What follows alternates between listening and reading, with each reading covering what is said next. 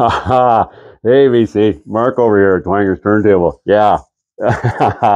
Bit of a get up going on here, but there's a reason for that. So bear with me.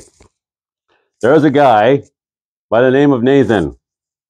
His channel is Metal Down Under, and he's doing a contest. And his contest in, is celebrating his 400 subscribers although he's well beyond that at the time of me making this video. I think he's probably in the mid 400s. Um, I'll click on his his homepage here. Here's his channel. There it is. Metal Down Under. So you can see that. So essentially, the reason I'm wearing this is his contest, what it entails is that you have to subscribe, number one. So I have done that. I just found him out probably just last week. I've been home a lot this last week, sick as a dog. Um, so I've been doing some binge watching YouTube videos and whatnot. And this is a gentleman I came across in the process. Yeah, I don't even, it's like 428 subs he's got. So the contest essentially I'll read the details here so all will know what is happening here. This could be a challenge. See if I can put my glasses on. uh, this is nuts. There we go. So, you must be subscribed to his channel, which I have. Leave your answer in the comments. One entry will get you one entry in his draw if you leave a comment you make a video, such as this, you get two entries. Wear an oddity in your video. Three entries in the draw. Now you get it. See, this is my oddity. The grandkids will love this. I've scared the shit out of them with this many times. They love it though. And the last here is, if you make a video entry, please leave a comment on this video telling me you have made an entry. So I will be doing that. Now, what we have to do, or what I have to do, is what bands can you not get into no matter how hard you have tried? So let me back up a second. So if you've not gone over to Nathan's channel, uh, Metal Down Under, go over there, subscribe to his channel, like, uh, obviously, Metal Down Under, he's a headbanger. So, you know, you, know what you're getting into if you go visit his, his channel. So make sure you subscribe if you do so. And enter a video to his contest. I think it goes on until the end of December. Uh, yes. In New Zealand time on the 26th of December, 12 a.m. So I think they're 24 hours ahead or thereabouts. I'm in Canada. So anywhere here in North America, depending on your time zone, it's only a few hours difference. Um, so what band can you not get into no matter how hard you have tried? Well, I've probably gone on record. I've said this several times. Probably Queensryche. Even back in the day, I just I, I don't understand. I don't get it.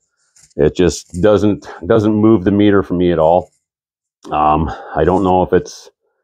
Uh, I never really was into videos all that much. So during the video era, I don't even know if they made videos to to uh, to uh, accompany their music.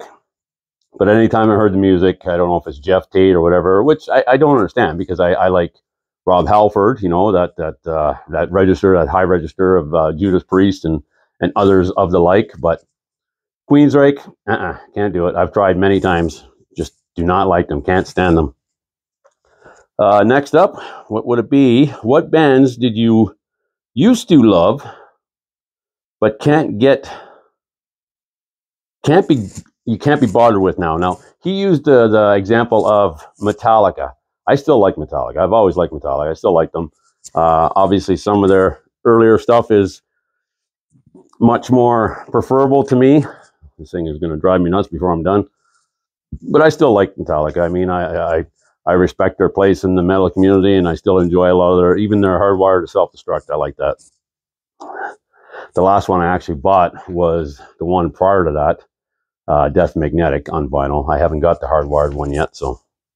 But if I was going to pick one, um, it's not even that I can't stand them anymore. I just, I, I alluded to it in in my previous video. It's probably um, it may be blasphemous, an, another one, but probably Kiss. I just don't have time for Kiss. Um, loved them as a kid.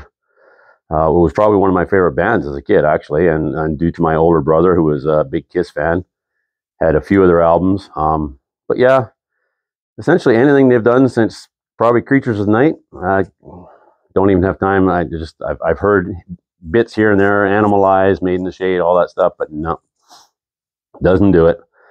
Um, I'll use that as the, the, the most, the most, the biggest one for me would probably be Kiss because I, I did. I used to really love Kiss and, you know, but yeah, that'd be the one. There are others um, that I just, uh, in the in the new millennial there do I mean my son was still at home and I was listening to a lot of the new metal and stuff like that so you know Limp Bizkit and whatnot but yeah I don't really have much time for that. Even bands I used to really like which again, I still appreciate their place in music and history, but bands like Nirvana or whatnot, I just, eh, you know, even Pearl Jam to an extent, after their first couple of albums, it was, they just kind of faded away for me. So stuff like that. Next up, see if I can get my glasses to work for me. Recommend me some female fronted or female metal bands to check out. Well, that's a tough one.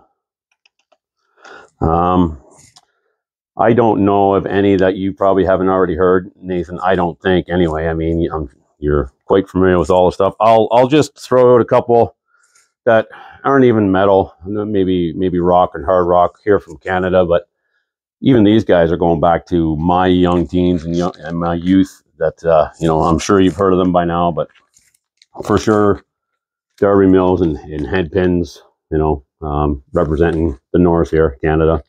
That one. And then maybe lesser known, probably more known for their later stuff, but Toronto, this is their debut, Looking for Trouble. Uh, even Head On and Get It On Credit, I like. Um, the stuff after that, Girls Night Out and whatnot, no time for that.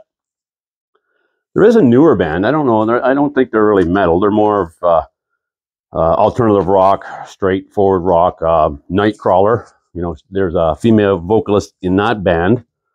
Um, I've got them. I don't have the vinyl, but I do have them on my my uh, Apple Music playlist. Um, and this is this is the album cover. Oh man, can't really see that. There we go. I'll play a little sample if I can.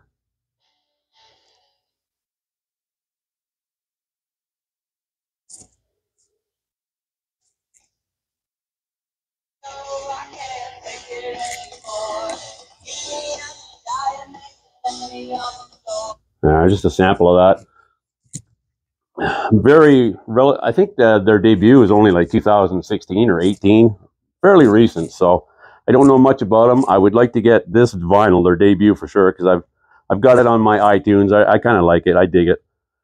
And these guys are more of a, they're not metal. So I'm just going to throw them in here as well because I dig them once in a while. They're kind of that electronic, um, probably even pop, electronic pop, dance, almost industrial sound, but they're called Poliça. And this is, I think, from their uh, 2000 and, oh God, I don't even know, it might even be 2004. It's quite a while ago. It's their EP called Baby Blue.